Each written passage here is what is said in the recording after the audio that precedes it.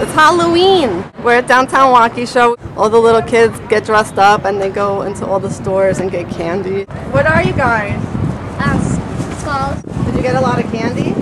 Yes, not yet. You like my costume? Uh, what are you? A New Yorker. Uh, it's hard to tell. Really? The accent. You don't think the accent is New Yorkie? No, I don't know much about accents. I'm gonna go get some candy. Trick or treat. Try that one again. Trick or Trick or treat. I want candy. They didn't even ask me what I was for Halloween. They already knew.